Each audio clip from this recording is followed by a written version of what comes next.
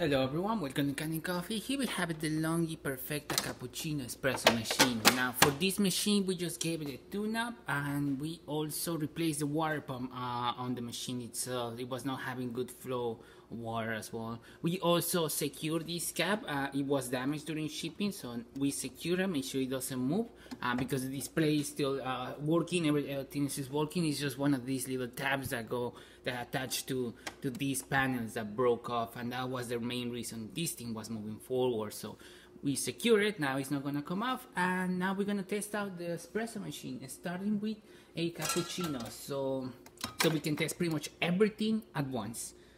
And I, I'm not gonna be using milk. Unfortunately, we don't have milk. And I'm just gonna be using water, but we still be able to see how it siphons the water through.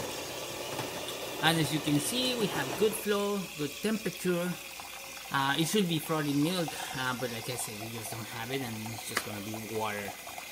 Mm -hmm. We descaled the machine as well, and yeah, we just gave it a good clean. We replaced the infuser. This is the old infuser of the machine. Uh, we re uh, replaced the gasket from the O-ring from the generator, as well as deep clean the shower screen from the generator itself. We deep clean the spouts and we deep clean the door. Pretty much, yeah, good cleaning all over. So as you can see, we're having good water flow coming out of the machine, doing a cappuccino.